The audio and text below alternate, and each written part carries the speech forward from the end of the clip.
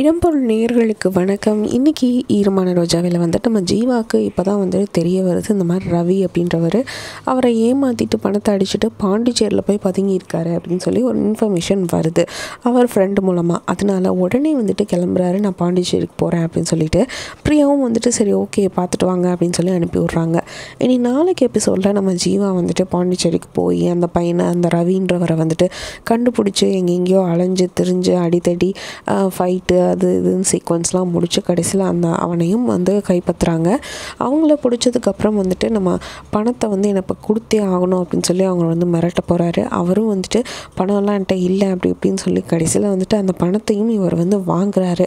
வாங்கி எப்படியோ வந்துட்டு ஃபுல் அமௌண்ட் வந்து கிடைக்கல அப்படின்னாலும் அவர் வந்து செலவு பண்ணிட்டு மீதி போக இருந்த கொஞ்சம் அமௌண்ட்டை வந்து செலவு பண்ணியிருந்தாலும் மீதி அமௌண்ட்டெல்லாம் வந்துட்டு எப்படியோ வந்து கைப்பற்றி அவர் வந்து போலீஸ் ஸ்டேஷன்லாம் கொடுத்து எப்படியோ வந்துட்டு கண்டுபிடிச்சி கொண்டு வராங்க.